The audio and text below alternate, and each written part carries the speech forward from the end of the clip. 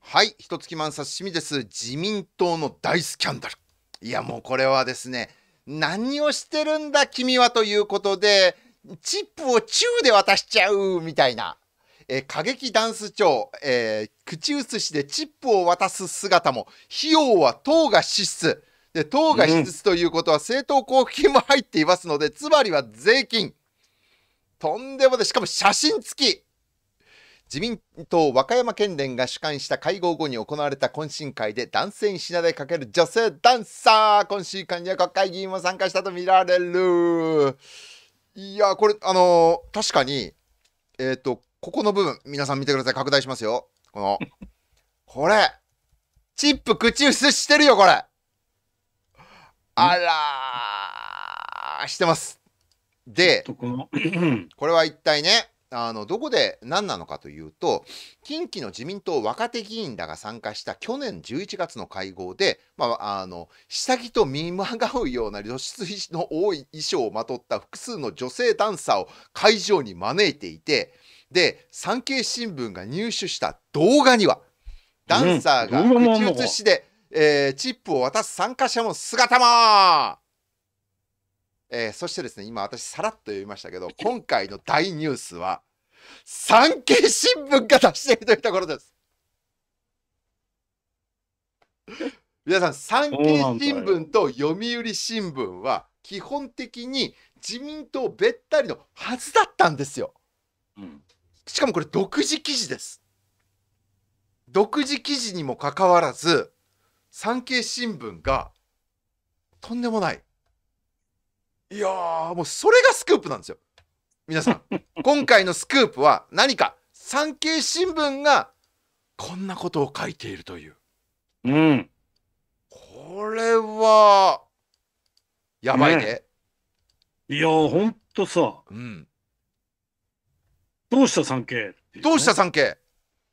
これは赤旗とかに乗る そうそうそうそうそうそう。で、おそらくですね、これなんですよ、ホモさん。自民党の広報に書いてあります。自民自民党ね、えー 青年局近畿ブロック会議和歌山で開催。うんこの人たちが懇親会に出て、うふんあはんの大騒ぎですよ。すごいよねこれね。ほー、ななるなんなの？このななんなんのダンスなの？これ。いやななんで？でそしてですねこの自民党の広報誌によるとですよ。ね。うん。藤原隆青年局長、うん。えーそれでは藤原隆さんどんな人かというとですね藤原隆なぜか岩手第3区えっ、となんで和歌山県内に来てるのかちょっとよくわからないんですけどもそんなにダンサーとチュッチュウフがしたかったのか。この藤原隆さんがこの青年局の局長を務めてここで出てきた時にチュッチュウフフ。うん。どうした産経何があった？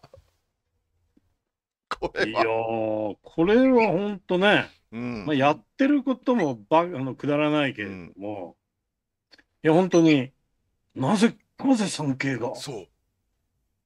あの、うん。いや産経がこういうニュースを、うん。あの入手するっていうことはもちろんいくらでもある、うんうん。でもこういうね自民党にとっての恥になるような記事っていうのは、うん。産経はそーっとゴミ箱に入れるっていうのは今までの産経の揺るがないやり方だったんだけど、うんうん。ほんとね安倍さこのうーんいつぐらいから変わってきたかね？この安倍派の裏金問題があたりからです出ねてきてからなんか変わったような感じするよ。うん。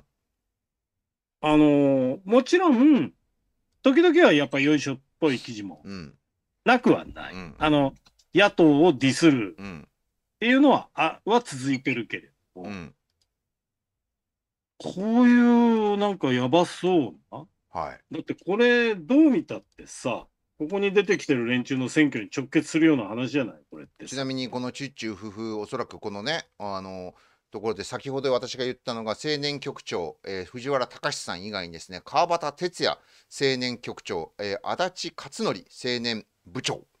で開催された近畿ブロックっていうふうに書いててじゃあ他は何かというとこの川端哲也さんはで哲成哲也さんはですねあ哲也で合ってるね。えー、てかなんか似てんな。こっちと。うん。なんかちょっと。なんかでもこの産経のこの写真さ、うん。うなんか後ろから見ると髪の毛がちょっと薄そうに見えるんだけど、あ確かに。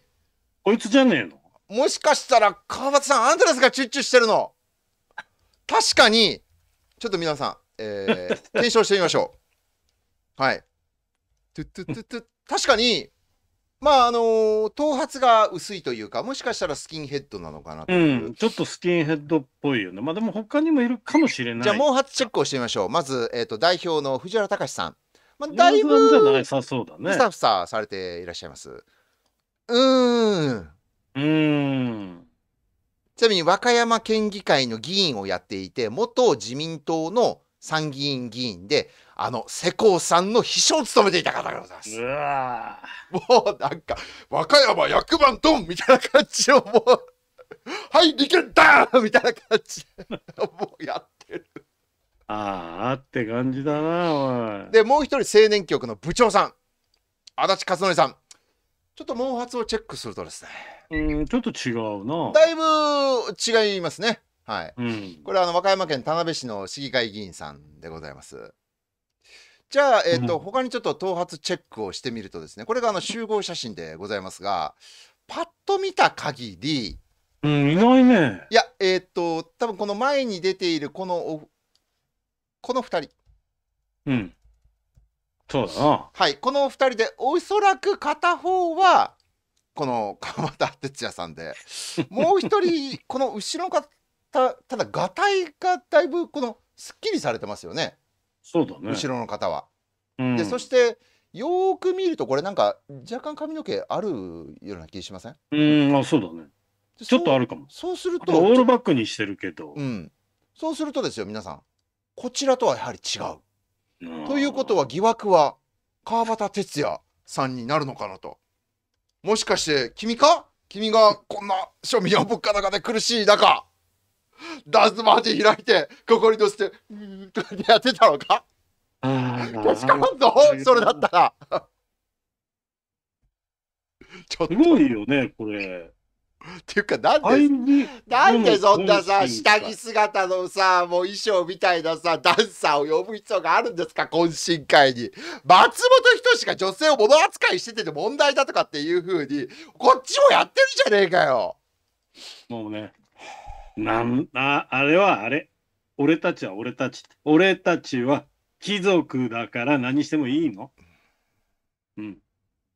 っていうことだよね、これね。いやーちなみにあのこんな別ことまだやってんのかっていうさ。別のお写真にですね川端哲也さんやはり出ててですねますますちょっとああ、ぽいな。ちょっと類似ぽい性がな。類似性が高まりますがああ、ぽいな。ちょっとねこちらうん。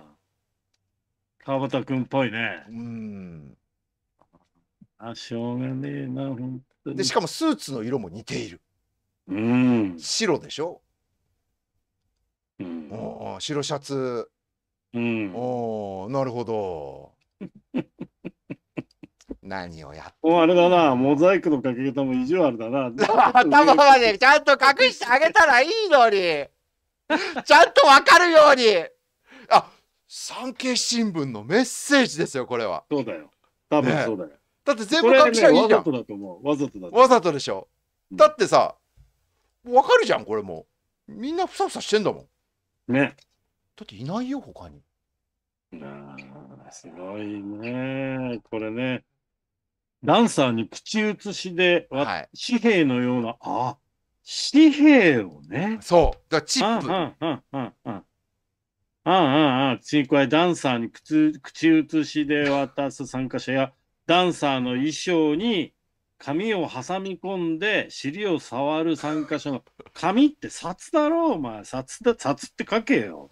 いやあのあれですよね私がえーっと都市伝説でしか知らないあのバニーガールさんみたいな感じでこうやって胸をこうやってるところにお札をうんうん。とかあとなんかストリッパーさんのこのパンティーのところここにあの札束突っ込むみたいなでここに突っ込もうとしてんダメよみたいななんかそういう本当にやってんのこんなことこんなこと本当にやってんのいまだにやってんだよ。今私が言ったのって昭和50年40年くらいのイメージなんですけどまだ健在だ。和歌山は大丈夫だ。和歌山はまだやってる。さすが世耕ひろねあのー世耕さんがいてもう一人の優は二階さんで出した和歌山の大学者和歌山出身の大学者竹中平蔵大先生でございますからえー和歌山の皆さんうん。ちょっとそんなことで決めつけて申し訳ありません。和歌山は南紀白浜もとってもいいところですし、お魚も美味しいし、えーみかんも美味しい。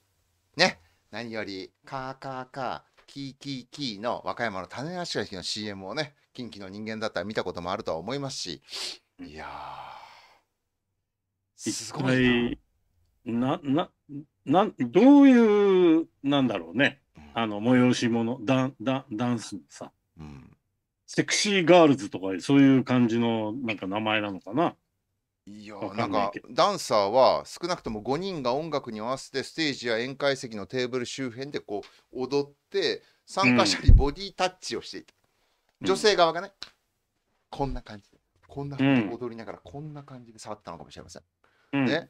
で紙幣のようなものを口に加えてうーんって渡してあげたりダンサーの衣装に髪を突っ込む。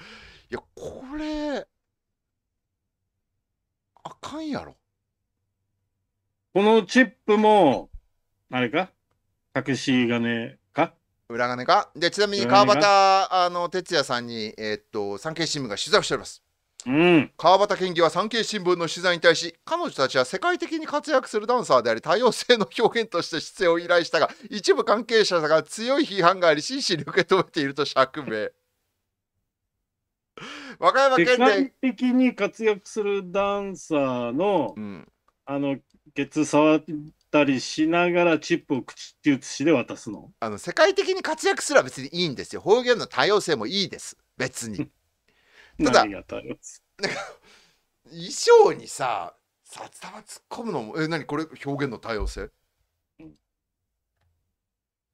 これあれなのかね？日本、ダンサーは日本人じゃないってこと？いや、わからん。別に日本人でも世界的に活躍する人はいます。で、ちなみに、えっ、と、同じように産経新聞の取材に答えているのが、えー和歌山県連幹事長山下直也県議は、会合が始まるまでこんな余興が準備されているのは知らなかった。何らかの対応を検討している。まあ、この方ね、あの、お写真見る限り、ふさふさしていますので、確実にこの人ではないですよね。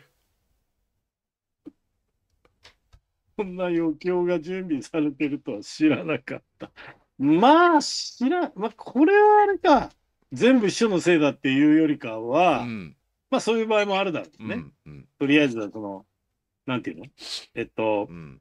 実行委員じゃないんだ。うん。あの、ちょっとは知らないかったかもしれ。うんん。でも、知らないけど、とりあえずはしゃいじゃって、うん。あのー札を突っ込んでたかもしれないよね。うん。うん。何らかの対応ってどうすんだよ、これ。産経新聞に抗議するかいや、ち、言及？いや、何をやってるんだ、しかし、ほんと。いやー、やっぱでも、やっぱりやってんだね、ほんとね。すごいよね。いや、私のおじいちゃんの時代に、こういうことがありました。ふーんですよ。で、うん江戸時代に吉原とか遊郭で、お大臣さんおやしになってとかってやってました。ふーんですよ。21世紀ですよ、皆さん。2023年11月の出来事ですよ。時代はね、止まってるから。いや、奴らの。間では。奴らの間では止まってる。止まりすぎですよ。栄養、もう未来、英語、栄養映画を極められる。いやえ思ってんのよ。未来英語栄養映画を極められるとうん。いうふうにあのまあいそういう人がいてもいいでしょうただし、うん。なぜあの栄養映画を極めるとしたらあれの世界観なんですが古くない？いくらなんでもいや、彼らにとっての栄養映画って、それしかないんだから。それしかない。あのね、国民がみんな、うんあの、何不自由なく暮らせる国を目指すとか。そそういうの関係ないから、彼らに。うん自分たちの、あの、エロ欲望を達成できりゃそれでいいのよ。で、金が入ってくりゃ。栄養映画使いエロ用映画ねそうそうそう。うん。でもう一人ですね、うん参加している国会議員が一人いるんですようん。もう一人参加してる私今あの喋りながらフェイスブックで調べました和歌山県で開催された自民党青年局近畿ブロック会議に出席中曽根康隆さんでございます。へー中曽根康隆さんでございます。え？中曽根のあれ？孫だ孫？おもちろんもちろんもちろんもちろん。もちだよね。ろんはい。えっ、と祖父が内閣総理大臣を務めた中曽根康弘。でお父さんは外務大臣などを務めた、えー、中曽根博文。ああ、やっべえな、これはもいやもういやこのう。方ストバのカの三代目ってやつか。いやもうなんていうかやばいもう、もうあれだね。靴下まで履かせていただいて、うん国会に来てますみたいな。ぐらいの、でどこの派閥なのかというと和歌山県の、えー、ドン二階二階堂先生の。二階先生の派閥にいらっしゃいますいやー、すごい。もう、栄養映画極まりり。いやすげえな。でしかも東京都出身で、えーけ小東の幼稚園に行って慶応の幼稚舎に行って慶応義塾の普通部に行って慶応の高校に行って慶応大学に行ったっていうですねもう。ザ・金持ちエスカレートってもうさ、エスカレータ金持ちしか周りにいなくって、ー世の中ってのはそういうもんだっていうふうにもう思い込んでるよね、きっとね。いやーすごいうん。ザ・ボンボンスターボンボンだね。いやもうすごいですねじゃああれだよ、ほら。他の県議たちはう、んね、チップ、千円札。うんだけどか彼は万札。ただまあこの人地元が和歌山じゃないんで顔だけ出して懇親会をキャンセルして行っちゃったかもしれないですけどねいや、出てるよ。出てる？出てるよ。せっかくフォローしたのに、ね、出てる？うんなぜか。うん懇親会こそが本番だから。あそうなん？会議どうでもいい。会議はどうでもいい。じゃあ懇親だけしてろよもう ダンサー周りに踊らせてそのおっぱいの狭間にあのチップでも挟み込んどけよそれがだって、それをね、やっちゃったらいくら貴族でも、あの、ほら、ちょっと格好つかないじゃん。うん、だん、かっこつかないなからなんだっけ？近近畿ブロック会議にならないじゃない？ダンダンサー、ダンサー、札投げ大会になっちゃうからさ。で、はい。近畿ブロック会議というのがあるということは、他のなんとかブロック会議もありますよね。うんうん。もう日本全国で自民党こんなことばっかりやってんのよ。間違いないって。うん。あともしからし、てこれがさ裏金だったらねおっぱい挟む 札束が裏金だったらお 国税局にさっさととっつかまれよもう。あるいはちゃんと申告しろよ支出おっぱいに挟むためのチップ5万円とかっていう。母音の代わりに母音って押してもらったらいいんだよ、え国際、何何何？国際交流、国際交流会。国際交流費とか言って支出すんだよ。なんなんこれ。いやでも産経新聞がこれを書いている以上。どうしたん？何があったの？どいや、もうやっぱ、産経ですら、うん。やっぱり、いくらなんでもひどすぎるっていうふうに、やっぱり、まあ、考えてるんだろうね。だから本当、あのちょっとだけ産経の用語をするうと、ん。あのこの裏金問題で、うん。えー自民党を擁護するような記事っていうのは産経全く書いてないからうんさ、うん。当たり前だけどさ、当たり前だけど、前はそれいくらでも書いてたんだから、うん。安倍時代はね、うん。もうとにかく、あのー森友問題とかいろんな問題でさう、ん。野党に攻撃、野党が批判するとさ、その野党を批判するみたいなうんうん。ことを平気でやってたわけって。だってどれぐらいかっていうとですね皆さん産経新聞自民党ってねで調べてみてください Google で。そうするうん。とこんな風に出てくるんですよ、御用新聞っていう項目がウィキペ出てくるんだ。ディアなんじゃこりゃって思います。よし。でなんて書いてるかっていうと、その通りだけどさ、えーね。御用新聞とは政治権力の保護を受けて政策の方針や用語を宣伝する立場を取る新聞のこと。はい。で 産経新聞。で出てえー何？産経新聞は1958年創業者の前田久吉が引退し後任の社長水野、えーなんて読むんだ？水野が就任する前から自民党政権財界の機関紙と目されるようになった。これは版元の産経経済新聞社が抱えた巨額債務をめぐって財界特に経済4団体の要望と期待に応えた関係上の理由であり1990年代以後自民党中心の連立政権自社左連立自公連立になった後も国政政党への支持は自民党一本の姿勢を貫いており国政選挙のために自民党単独政権の樹立を主張している。こんなことまで書く。でさらに1970年には国会審議で時の自民党幹事長田中角栄が我が党の政策に非常に理解のある産経を宅配で購読して広めるようにと秘密通達を所属全議員に向けて発していたということが取り上げられ田中もこれを認めた。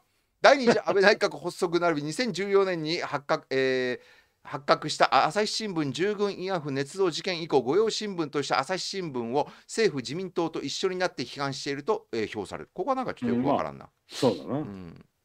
まあずっとそういう姿勢。だったんだが。ね。もうちょっとウィキペディアかちょっとで変えといた方がいい。ないといけないよね。安倍晋三が亡くなって以降その態度にも変化が見られてたといい一言書いとかないと。どうしちゃったの産経いやー、すごいね。これは本当あの、驚いたよ。ね。内容もひどいけど、うんとにかく産経がこれを乗っけているっていう。独自だからね、独自。独自つまり独自だから、ね。でしかも産経新聞にリークしたやつがいるってことですよ入手したっていうことはっうん。ね。この写真撮ってたやつがいるわけですさ。てことは関係者ですよ確実にうん。まあ中には、まあ、写真を撮ってる時に、まあ、なんとも言えないな。写真撮ってる連中はさ、ああ、まあ、ばっかだな、面白いなと思って撮ってたのかもしれうない。んただその写真が、写真をまた、また SNS とかどっかに載っけちゃって、うんでそれを見た人が、ふざけんなっつって産経にぶち込んだとかさ、うんそっちかなっていう気はするけどな。なるほどねうん。それにしてもよくやるよ。ではい、しかも、ね、これ全額金が出てるわけでしょ？党からねね。党から金が出てるということは、当然ながら税金ですよ政党交付金に決まってるわけでさ。うん。つまり、税金でおやりになってるわけです。こういうね、あの、会議をね。でしかもこれは近畿ブロックであって、これ全国のなんとかブロックっていっぱいあるわけで、うん全国でこういうことをおやりになってるわけですよ。うんうん。ね。栄養映画を満喫していらっしゃるわけです。しかも自なんかその栄養映画あんまり羨ましくもないですよね。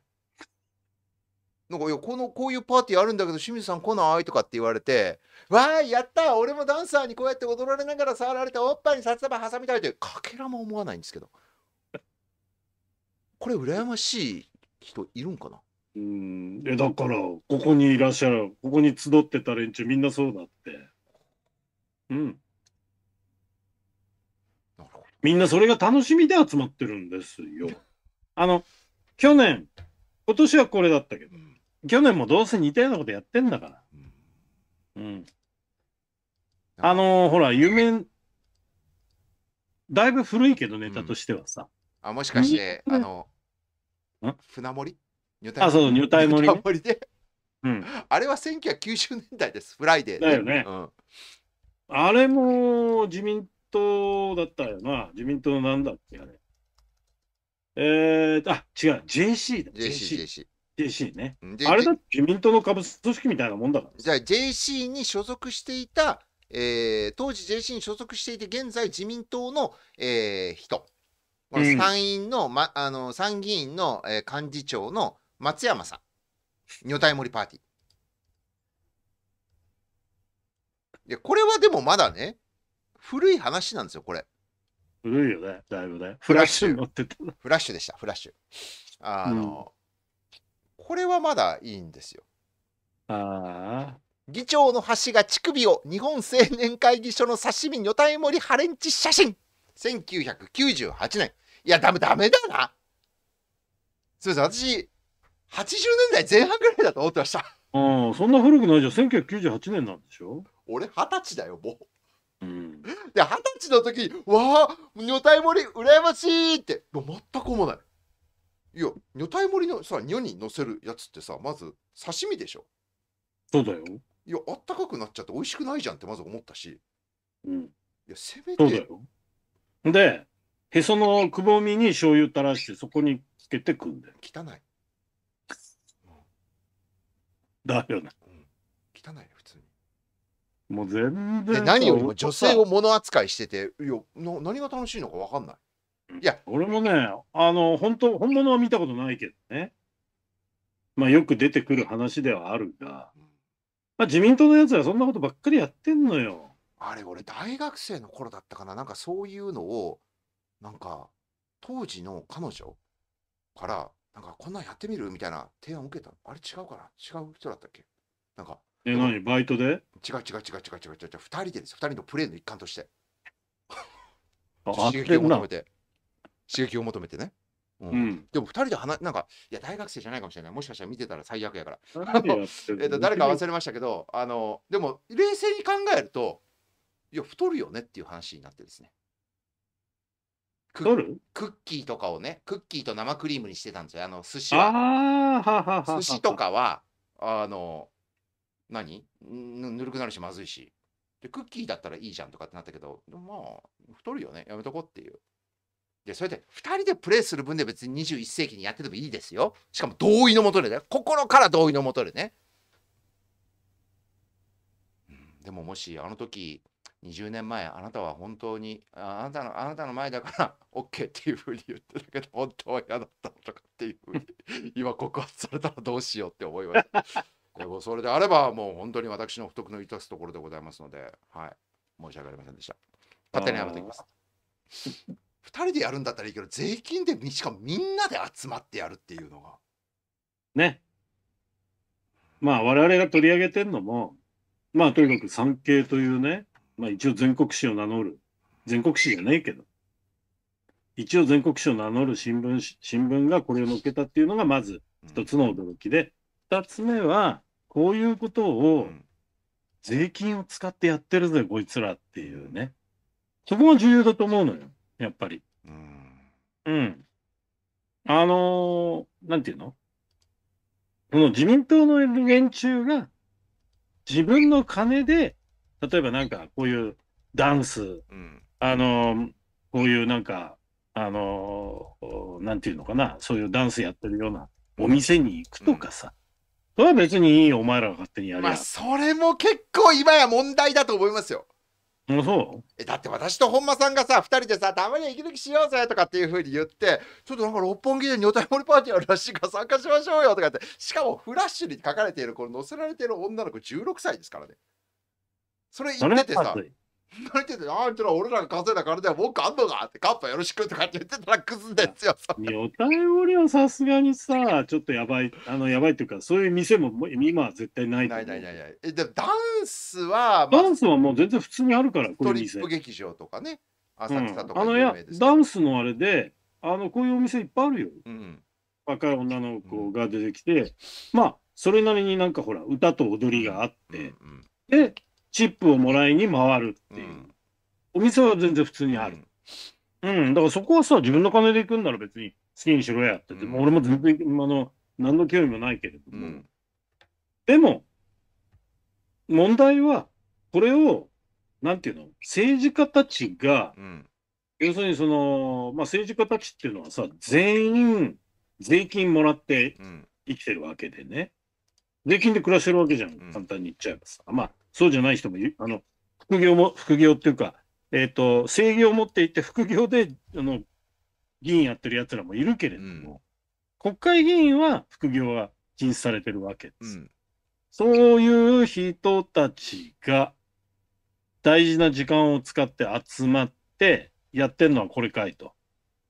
シーカーも、えーその会も、このダンサーたちへの出演料も、もしかしたら税金で支払われてるのかもしれない。いやおそらく税金でしょっていうね。それはいくらなんでもおかしいんじゃないですかっていうことで本日は撮らせていただきましたが、うん。まあ、私はちゃんと学生時代かなっていう記憶をたどって告白いたしましたがうん。何よ。俺、入隊もなんか全く一回もやったことないね。女体盛り、えー、やってないや女体盛りやってないいや、やってない。読んでないてか見たこともないよ。え何？見たこともない。見たこともない、まあ、私も見たこともないですけどあのーそういう話は山のように聞くけどさすがに俺ちょっとそういうのに遭遇したことないな。うーんじゃあなんか2人でやったやばいプレーってありますか？やばい。やばいとは一体何が、何以上がやばいっていう。ちょっとこれはあのやってたら恥ずかしいよなってあの自民党議員が写真撮られたらこれは恥ずかしいよな。でもプライベートでやる分にはいいよなっていうようなことはなんかあるのかなと思って。うーん、まあ一通りの話は、え、例えば外とか？ちょっとあのこれ以上はですね 良い子の人たちも見ておりますのでそろそろ出しにしようかなというふうに。あのおよそあ晴れてきたじゃないの。ね晴れてきましたね。青空がもうカンカン照りも近いですね。青カンカンということで、えー 本日もどうもありがとうございました。ね。はい、えーというわけで、ね、天からその青空がね春の曇りにね満ち溢れてそして自由がひね雨が降ってくるかのように寒波が入ってくると嬉しいなと我々は決してそういうところで おっぱいの間に挟んだりとかしてませんので安心して三菱 UFJ 銀行を役所して4569-556に寒波やり方 YouTube 説明欄に書いてありますのでぜひ振り込んでいただければと思いますじゃあねどうも。はい、今日もありがとうございます。電通と戦う本間龍さんはですね、えーなかなかメディア、ラジオ、いろんなところに呼ばれないんですね。で、本も広告がされません。皆様のカンパがないと続けていくことができません。今日も読書と本間さんと言いたいので、ぜひ本間さんの本を買ったり、カンパよろしくお願いします。現金もクレジットカードもどっちも対応します。よろしく。今日も読書。それでは。